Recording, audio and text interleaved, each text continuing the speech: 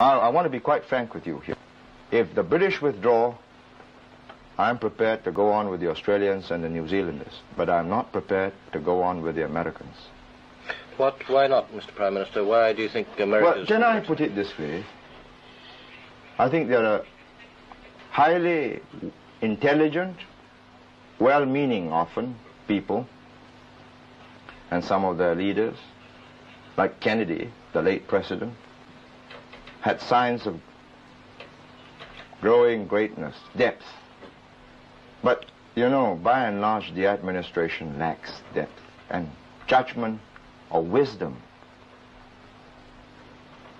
which comes out of an accumulation of knowledge of human beings and human situations over a long period of time. That's lacking. And it's not their fault. What have they got? Three, four hundred years of history? And they've become a nation just recently. You know, I'll tell you this. I've had three experiences, only three experiences with the Americans. And they did not intend any harm in each one of them. But the tragedy was they did real harm. First, this is old stuff now.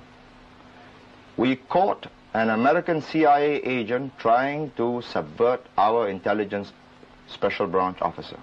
Bribe him so that the special branch officer will feed the CIA because the CIA wants to know what's happening.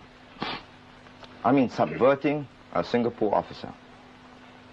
The man might have succeeded, but I'm proud to say that the officer offered large sum of money and continuing sums of money. This was in 1960. Refused and reported the matter to his chief, who reported it to me. Man was caught, locked up. And it was on razor's edge whether we charged him in open court or not. No, no, let me explain this. When I told the American government, all right, we keep quiet, you take this man away. $100 million to the Singapore government for economic development. You know? No, no, no, listen to me. I didn't tell, you know, I, I never spoke to the Americans direct because, you know, it's, they are, they lack the finesse and, you know, some, they, they may say, yes, they give it to you. Why not? To the, why should the Singapore government just give to you, to me, which would have ruined me?